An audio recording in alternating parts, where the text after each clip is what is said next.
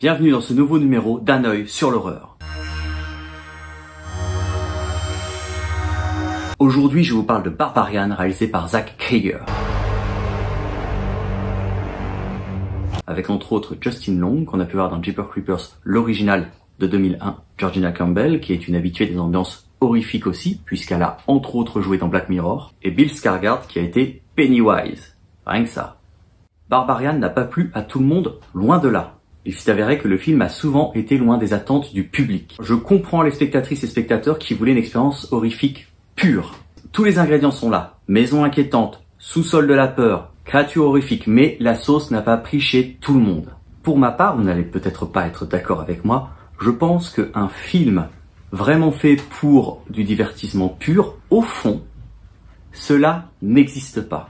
Un film dira toujours quelque chose sur son époque, voire sur l'état du cinéma au moment où il est produit, réalisé et diffusé. Je ne suis pas en train de dire qu'il faut tout intellectualiser, tout analyser dans un sens euh, sociologique, psychologique euh, ou politique.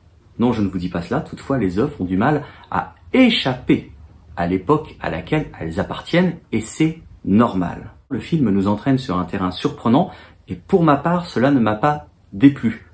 En effet, même si j'aime l'horreur dans son essence la plus pure, j'aime être surpris aussi. Maintenant, je le dis, je le répète, je comprends absolument les personnes qui se sont dit qu'est-ce que c'est que ce film?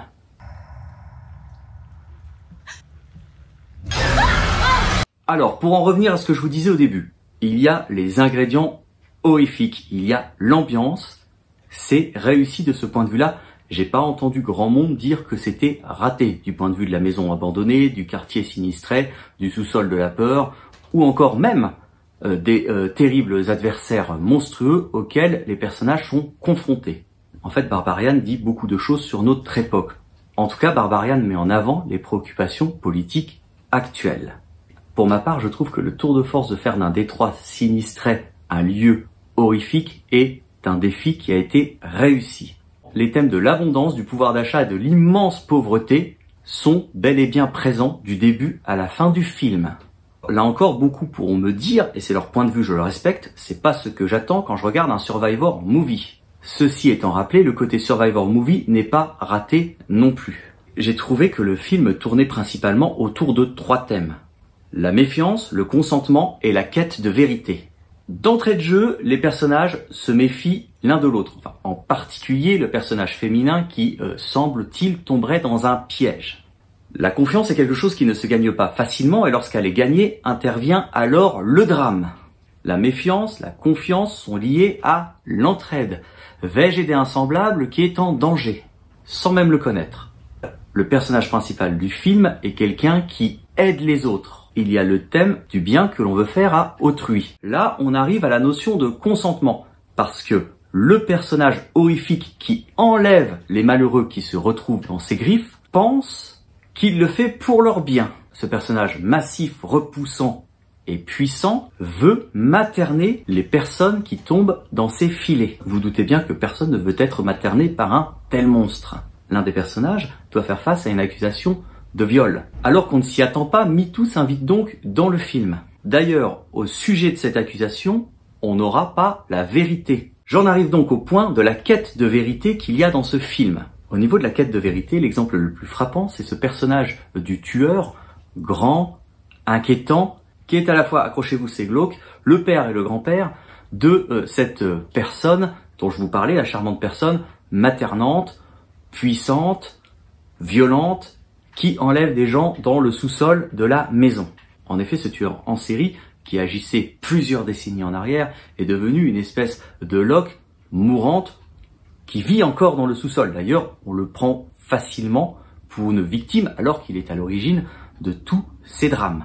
Le personnage est tellement diminué qu'on imagine aisément et sans problème que si la police intervenait, il ne serait pas emprisonné, que les conditions physiques dans lesquelles il se trouve, et même psychologiques, sont complètement incompatibles avec le fait d'aller en prison, tout simplement. Le personnage en question se rend compte de son affaiblissement terrible, toutefois, il est prêt à tout pour que jamais la vérité n'éclate. Ça pourrait pour lui s'arrêter là, parce qu'il n'est plus en état euh, de commettre les crimes qu'il commettait avant, il a passé le relais à sa descendance, mais il demeure important pour lui de ne jamais être découvert. Vous verrez comment cela est amené dans le film. Cette maison a donc une histoire, une terrible histoire, et cette histoire, au-delà de sa belle façade, est une histoire peu reluisante, peu glorieuse, une histoire absolument terrible. Cela peut donc faire penser à différents pans de l'histoire des États-Unis d'Amérique, en somme. Que vous me rejoigniez ou non dans cette analyse, forcé de constater que le film a plusieurs couches de lecture et n'est pas simplement un film d'horreur, un survivor movie. Et effectivement, il a déçu un grand nombre de personnes. Je n'avais pas d'attente particulière, donc ce terrain sur lequel euh, j'ai été emmené, en fait, bah, je suis resté jusque la fin et le film ne m'a pas déplu. Donc en conclusion, prendre une zone sinistrée économiquement pour en faire un lieu horrifique, c'est réussi. La psychologie des personnages traités dans des moments d'urgence, le principe du survivor movie.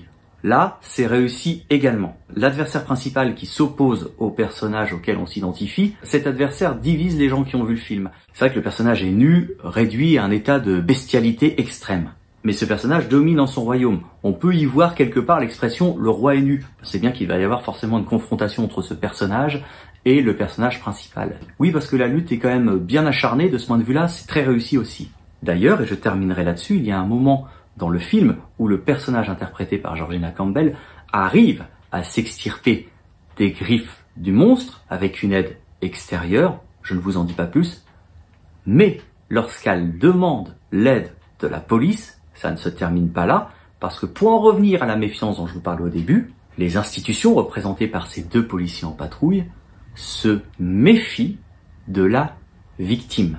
Les deux agents de police sont tellement pris dans des préoccupations au cœur d'une ville meurtrie et pétrie de violence qu'ils sombrent dans la facilité de prendre cette victime pour une voleuse, une vandale et une junkie. C'est une séquence où le processus d'identification marche à fond et je dirais même que c'est une séquence qui nous amène sur un terrain kafkaïen. Vous savez, Franz Kafka, cet auteur qui a écrit entre autres La Métamorphose, qui nous plonge dans un univers, il est aussi l'auteur du procès d'ailleurs, qui nous plonge donc dans un univers où on n'a aucune chance en tant qu'individu de se sortir d'un système, d'une société injuste. Donc l'autorité est un concept extrêmement important dans ce film également. Alors si vous voulez vous exprimer au sujet du film, n'hésitez pas à le faire dans les commentaires. N'hésitez pas à liker si vous avez aimé et si vous voulez être au courant des rendez-vous que je vous donne régulièrement, n'oubliez pas de vous abonner. Je vous dis à très vite.